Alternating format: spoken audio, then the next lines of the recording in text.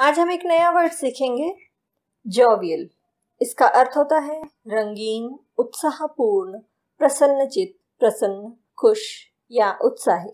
इस शब्द के उदाहरण हैं he was a jovial person वह एक उत्साही व्यक्ति था. He was in jovial mood वह प्रसन्न मनस्थिति में था.